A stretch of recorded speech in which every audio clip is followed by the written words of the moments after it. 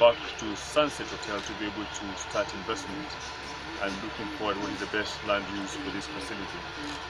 Knowing very well that he has held back uh, Sunset for quite a while to be able to, to move ahead and become a key player in um, Kisumu County. And we would like to thank the county government quite a lot for their support. They are also a shareholder of Sunset Hotel.